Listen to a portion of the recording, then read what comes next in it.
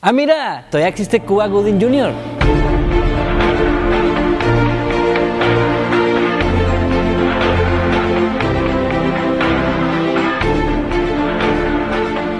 Selma es una película dirigida por Ava DuVernay y es protagonizada por David Oyelowo, Carmen Ejogo y Tom Wilkinson. Trata de la lucha de Martin Luther King para que los afroamericanos pudieran votar en todo Estados Unidos, especialmente en la zona sur donde se vivía un ambiente más racista que en el resto del país. Después del asesinato de unas niñas, Martin Luther King decide viajar a Selma, Alabama. Aquí trata de organizar una marcha masiva para exigir la igualdad del voto y así elegir a los funcionarios que no permitan este tipo de actos. ¿Qué me pareció la película?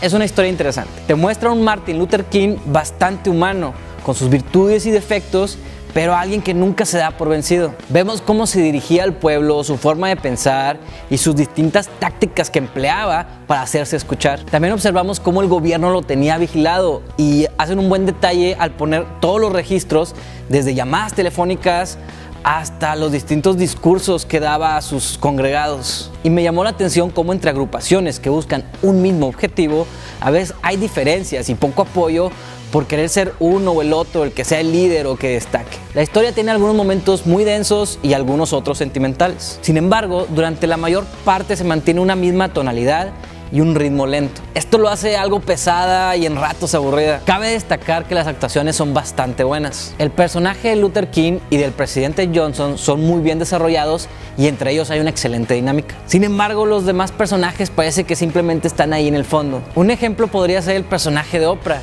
que parece que nomás la toman para que de repente digas, ah, esta Oprah, ah, esta Oprah otra vez, ah, esta Cuba Gooding Jr., ah, esta Oprah de nuevo. Al final te ponen qué sucedió con personajes que no tuvieron ni un solo diálogo durante toda la película. En cuanto a cuestiones técnicas, tiene una buena fotografía, pero no tiene la iluminación adecuada.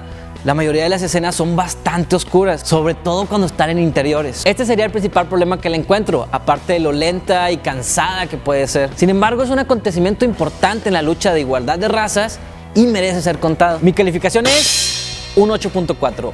No me deja mucho como película, pero como historia sí. ¿A ti qué te pareció Selma? Dime si te gustó, si no te gustó. Y ya que estás en eso, no olvides suscribirte a mi canal para que no te pierdas mis nuevos reviews, así como seguirme en Twitter en arroba geek del cine, donde solo hablo de películas, de series y cosas geeks. Muchas gracias por tu atención, nos vemos en la próxima función. Puede ser. ¿Estás grabando? Sí. Sin embargo... Se